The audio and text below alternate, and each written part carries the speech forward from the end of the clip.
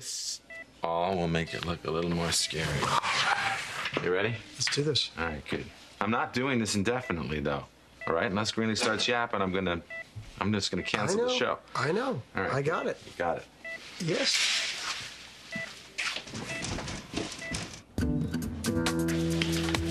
Hey, uh, Mr. Lavery's had a bit of a setback. I've stabilized him. I don't want anybody visiting him unless you clear it with me first. You got it? Yes, Thank doctor.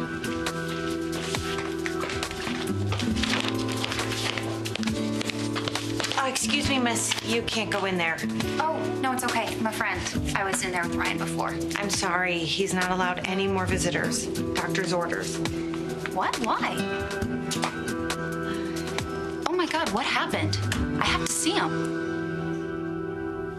That's the truth, isn't it? You won't go to Ryan for help because you're afraid what I might do to him. Well, I suppose I shouldn't be surprised, but I have seen what you're capable of. so you think I'll hurt Ryan? I wouldn't want to chance it. Greenlee, you have to hear this and know it to be true. I could never hurt Ryan. Because if I did, I know that I would lose your heart forever. Do you honestly think that this is easy for me? Seeing the fear and distrust in your eyes, even the hatred when you look at me? You put that look in my eyes when you decided to blackmail me. I'm sorry, but I don't feel like I have much of a choice. You do have a choice. You can let this go. No, I can't. Because then I would lose you, and I'm not going to let that happen. I have told you this before, but I don't know if you're really hearing it. I have never loved anyone the way that I love you. Think hard, Greenlee, about how you once felt about me. I know it isn't easy right now. I know you feel trapped. But try to remember what it was like when it was just you and me. Before this town and, and all your so called friends chipped away at us. We were strong, Greenlee. We relied on each other. We even saved each other's lives. I haven't forgotten that. You see, well, there's the difference. I can't think of anything else. I, I go to sleep every night hoping that tomorrow will be the day where I could finally burn all the evidence I have against you. Because that would mean that our love survived even this. Do you honestly think that day will come? I have to believe that, yes. I have done some things in my life that I am not proud of. I have grabbed for what I wanted and, and pushed people away to get at it. I don't want to be that man anymore. Then don't be. I've been different with you, Greenlee. Because when you loved me, when you believed in me, I was the man I always wanted to be.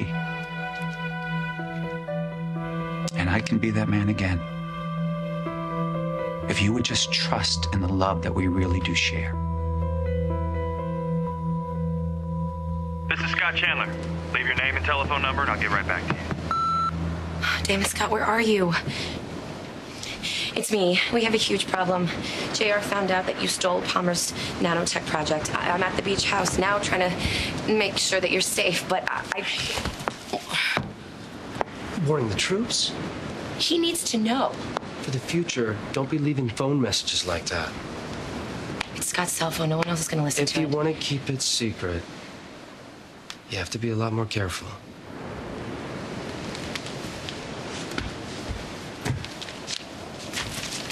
So you so you're on board? All of Uncle Palmer's notes, and all the rest of it doesn't exist. Okay. You all right? I'm still mad as hell about Scott doing this. How it could hurt us. But I wouldn't hurt you. And if I went after Scott, that's exactly what I'd be doing. Thank you. Well, uh, when you went outside, did you see anybody there? I didn't think there really was someone there. Then why'd you go out there? Because of you. Me? Oh, come on, Annie. Even when we're fighting, even when I'm saying the most horrible things to you. Know. I know. Something's there. Sometimes I just physically have to get away from it. Good. I'm glad. Because we have to stay strong. Now, more than ever, JR. Too much depends on it. Everything depends on it.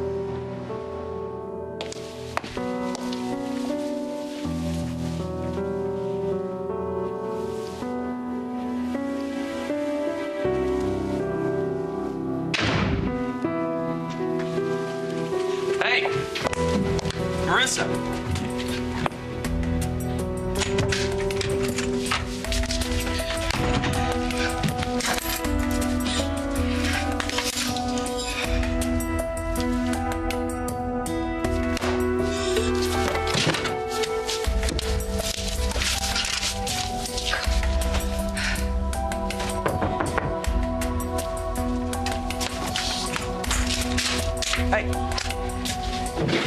Marissa, talk to me. What happened? Huh? What? What's wrong? Just please, just leave me alone, okay? Was it JR? What did he do to you?